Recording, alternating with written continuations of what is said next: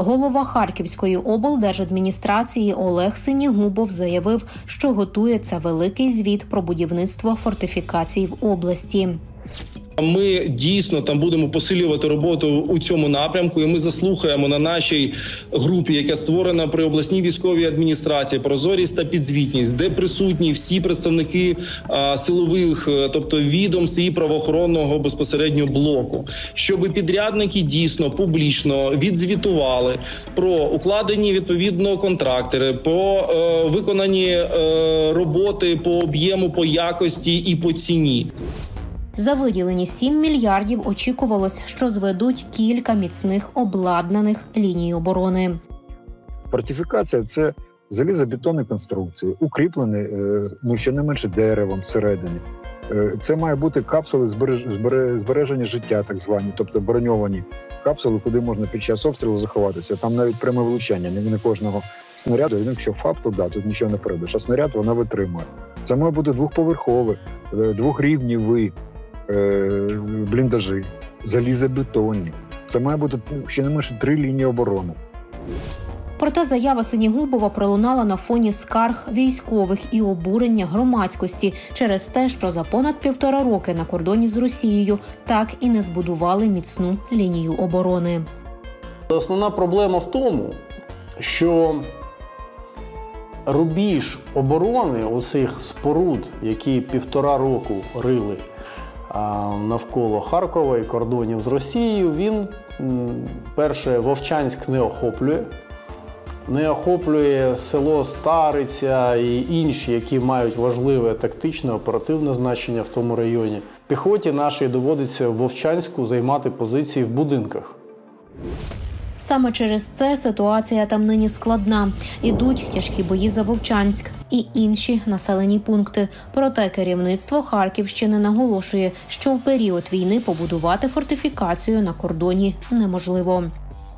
Ми знаємо, в яких умовах фактично працювали наші відповідно підрядники. Більше 30 там одиниць, а, тобто будівельної техніки, було знищено через обстріли. Чотири людини загинуло. Більше 15 наших цивільних, тобто будівельників, отримали поранення. Те саме підтверджують і експерти. Чи можна за е, пів кілометра від ворога е, побудувати щось, е, щось серйозне? Ні, цього зробити неможливо тому що це е, техніка, яка буде це робити, і люди знаходяться не тільки під е, мінометним е, обстрілом, а й під е, зі стрілецькою зброєю. Ну як це можна? Це навіть не танк. Ну трактор виїхав за пів кілометра е, за кілометр від е, ворожих позицій. Ну і от з РПГ буде знищено одразу. Реально було мінувати. Замінувати можна навіть е, вночі, можна дистанційно мінувати. От замінувати треба було дуже щільно. Як приклад, аналогічні дії противника з будівництва власних оборонних рубежів.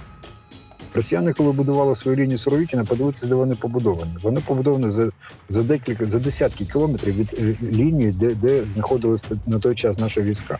Вони чудово розуміли, що вони не будували фортифікації за кілометр від е, сірої зони. Ну, Ми б знищили все, що вони, вони будують.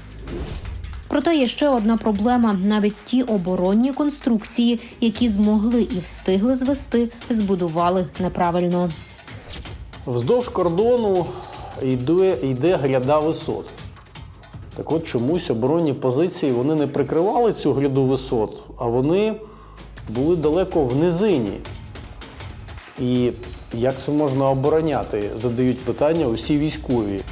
То замість того, щоб оборонятись на обладнаних позиціях наші війська все одно змушені вести бої, е, бої ближче до кордону за межами цієї лінії укріплень і там облаштовувати собі знов-таки тимчасові позиції. Фортифікація будується не по е, е, адміністративній карті. Фортифікація будується по складках місцевості. Там, де є зручні позиції, панівні висоти, ну і далі є. Ну люди це військові ці знають. Вони не дивляться на е, політичну чи на адміністративну карту. Вона байдуже.